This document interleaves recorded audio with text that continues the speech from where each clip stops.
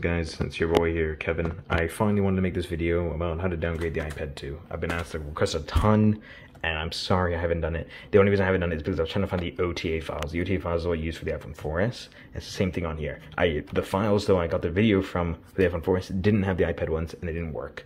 So I had to find them, and I finally found it. I'm going to show you guys exactly how to get them right now. I'm going to leave links for everything in the description. Just go down there and click the first website. First website will be this one right here ipsw.me. You can just actually search up. If you really can't find this for some reason, uh, that's not working, just search up IPSWs. And there it is. It'll be like the first one. It says .me. Just click here. And then depending on device you're doing, so we're doing the iPad, so we'll go to the iPad. And then, I don't have any of these, sadly. Let's go right to the bottom here. And I found the iPad 2 Wi-Fi. This is mine, not this one. There's a difference. I don't know what, there's actually a difference. This one only goes to iOS 8. You can tell the difference because look, if I go here, see? Oh no, this one does the um, not sorry, in OTA files, and you can see there's a ton, and it doesn't do any of the six. But this one does iPad 2 Wi-Fi, that one. So go to this one and then scroll right to the bottom. See, you can see these are all screwed up, the IPSWs. And this is the original way of downgrading, is you just download, go down all the way to bottom here, download that, flash it to the iPad, you're done. So easy, but Apple blocked it and stopped signing everything except for the latest firmware. So uh, go back here, and go to, at the top it literally says OTAs. You just click on that, head on down, these are the ones that are signed that work. Um, you can do eight for some reason if you wanted. I just do six. I just went with this one right here. Boom. Click that, and then for some reason this download didn't work. First time I have it downloaded already. I just hit copy to clipboard, went into a new tab, and hit Control V and then just download it from there. Um, so that's what you gotta do. Next, what you're gonna wanna do is just head onto the iPad. There it is. I've reset this one. It's now on iOS 9. I'll show you quickly. You can see the laggy iOS 9. About and version iOS 9.3.5. Boom. So it's on the latest version that it runs. There's nothing on here. I signed on your iCloud, everything, because you're gonna be downgrading and you don't want any issues with that. Okay, laggy. Uh, and then you're gonna open 3uTools on your Windows PC. You will need Windows for this, or you can, uh, um, what's it called on Mac? I think it's called not Dual Boot. I forgot the name of it. If you guys really want to make a video on how to run Windows, Apple actually made it for Mac, like Windows did, so you can actually run Windows 10 on a Mac. It's really cool, actually. It's very nice of them to do that. So here, open the 3uTools. Let the iPad pop up before hit trust if you have to. There you go again. 9.3.5. You can say it's jailbroken. No, you need to jailbreak for this. It, iOS 6 will not be jailbroken though when you downgrade. It'll just be normal iOS 6. Don't worry. If you really want a classic look to it, there will be no jailbreak. But I will be jailbreaking my version because I need it to have some fun. I'll show you how to get, like, what I have on my TikTok, if you've ever seen them, is I have all the old apps, and a lot of you guys like, that doesn't work on my iPad or my iPhone 4, any of that. Oh, so this actually new, wow. So you're gonna choose the version you're gonna be using. You'll be using Phoenix at the top here. There you go, supports these versions. Hit start jailbreak. It's gonna download stuff. Windows Defender might pop up and give you a warning. Uh, what you're gonna wanna do is this. I'm just gonna open it right now actually. With the iPad out of the way here. Uh, Windows. Windows security, go here. Like that. And then you're just gonna go into virus and threat protection. What if I have no viruses? I do, there it is. You can see it. I did it, did it cancel it? Yeah, I did. Failed uh, we can do just go into virus and threat protection, like mine just did, and hit real-time protection. Just turn it off for a bit. Don't worry, this is not a virus, I can promise you. And then just find the jailbreak again. Jailbreak. Is it doing? It should be, uh, no, what did I do? Uh-oh, where is it? Oh, it's in the background. Yeah, it is, okay. Just select it again, hit run jailbreak. So all you gotta do is pause the real-time protection. You can turn it back on right away after this is done. This happens because you're downloading some weird software that's unverified by Microsoft. Microsoft has no idea where this file is coming from, so they're just worried. Don't worry, it's not a virus. It's not going to do anything. Now you can just launch your iPad, do its thing. It's going to do this. It's going to open settings. I'm not even touching it. it does everything. This can hit OK. You can just leave your iPad plugged in. Doesn't matter. Going to go over here, select this one, and you can hit Trust. If you have a passcode on this iPad, remove it first of all, and then enter your passcode if it requires it. It's going to hit delete app now instead. It's going to say verified. Hit home. Now you've jailbroken. Oh, home button doesn't really work on this one. Uh, hit Phoenix. There it is. The iPad 2 1 is not jailbroken. Yep. So we're going to hit prepare for jailbreak. It's like prepare for launch. Wow. You're going to hit accept. I can do a whole mixtape if you'd like to download it. It's nothing really. I just hit proceed with jailbreak and then hit begin installation. I was going to prepare to jailbreak. It's going to say that, and that's perfect. It should be exactly correct for your iPad. Boom. So I'm going to run the exploit. My screen is really dirty. I'm really sorry about that, guys. It's always dirty. Just like that. Uh, let it boot up. It takes a while for an iPad 2 to boot up. You guys know. So I'm going to uh, give it a second as it boots, and I'll be right back. It looks like it's almost done because Windows just said it's connected. Uh, keep your iPad plugged in basically at all times because you don't need the battery dying. It'll be kind of annoying if it does in this process. You can see how long. Oh, there we go. Perfect timing. We're back in. Here we go. Same iPad. Now, if we go to the second screen, we should not see Cydia. Okay, uh, that happens sometimes. Just give it a second. It might pop up after like a few seconds just because it just finished downloading and installing. It might pop up. Just If it doesn't, you can just go back in, which I'm going to do right now, actually. Is just hop back into uh, Phoenix and just reinitiate it again. Sometimes it does this kind of stuff. Uh, it takes a bit, but it will come. Don't worry. Don't freak out if you're just doing this as well. Just do it again. Uh, begin installation. Use prevent upsets. Okay, it's gonna restart again, and we'll be right back. Alright, it's rebooting again now. Just wait for it to boot, and then uh, hopefully we should see Cydia on the home screen. Uh, it just booted up. I got myself some water, so it took me some time there. Hopefully we see Cydia. Cross your fingers. Peeking over. No, we don't see. Oh, we do. Okay, there it is. There you go. You can see Cydia now. It's popped up. I maybe take one or two, three tries to do it, but it'll pop up like this, and then it should just work right away.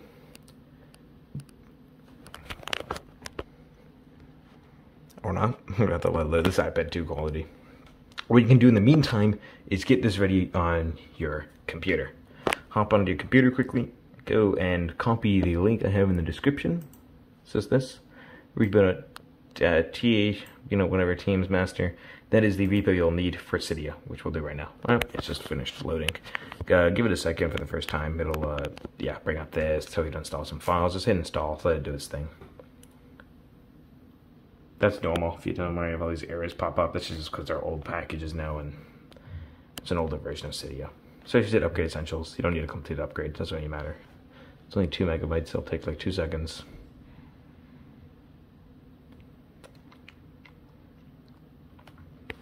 It'll force close Cydia in a second here, you'll see. Give it a second, it shouldn't make us restart Cydia.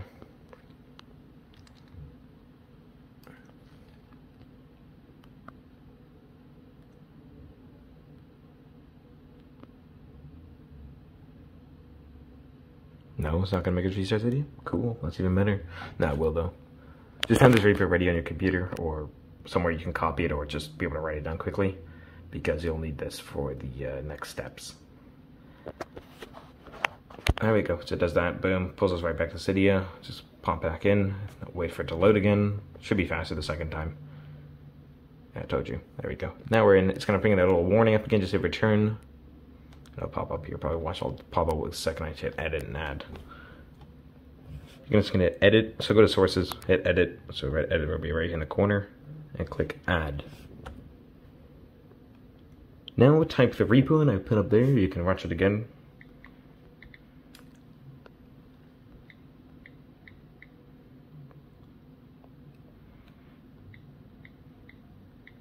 There you go. Type that in. Up .net. Whoops, so it was, I probably just hit enter following along, but just hit .net and then hit add. It should just work.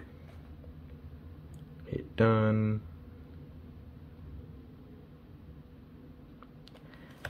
And then you should see something pop up there. There we go. So return Cydia, and then it'll be this penguin looking one. There it is, a penguin. You can see it. Beta repo. Now just go to all packages.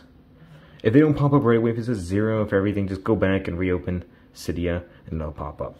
Now you're in here, just scroll down till K, won't be that far, but there's not many packages in this one, and you'll see KDFU loader, or app, sorry. And then just click install in the top corner there. Hit confirm. Shouldn't give you any errors. I don't know if this works on later versions of iOS. I know this works on iOS 9. I'll find out if I can do it on um, the iPhone 5, which is in this drawer. This iPhone 5, we'll find out if we can do it on this one. Unique way to make a window portal. Don't care TikTok, but whatever. Uh, we'll find if we can do it on that. And then once I get the 7 repaired, um, yeah, uh, I'll find if I can do it on the latest version of iOS and stuff like that. And I'd actually like to figure out if I can do it on a really old version of iOS, such as iOS 3 on this iPod Touch. This is a second gen iPod Touch. I had a third gen back in the day. I ran iOS 6 though. Uh, configuring KDFU app. Might take a few more seconds. Count on the Apple Watch. Uh huh. Still configuring. Wow. Come on. Uh, well, let's let this load all of it. Oh, there we go. Doesn't matter. Turn the video. Go home. Go, go home. And then you should see this app. It'll just look like that. Just click and do it. And then just hit all these little switches. Give a second between each one so it lets it be able to download and finish each one. And then ready. Then just click enter KDFU. Now once it's done that, iTunes will pop up giving you a huge ass warning telling you, there you go, it goes black like that. Uh, look at my computer screen quickly. It'll pop up in iTunes in a second here. Well, you get some crap music on here. Travis Scott, okay. There we go. See, it pops up like that. Just hit the close button and then go into 3U tools and actually close iTunes so it stops popping up like that. Boom, now iTunes closed. This is also pop up. Don't worry about it. Go to RT slash wipe. Sorry, not that. Smart Flash. It's new now. I forgot this. And then you're to hit Pro Flash. I know, crazy. You're to hit Import Firmware.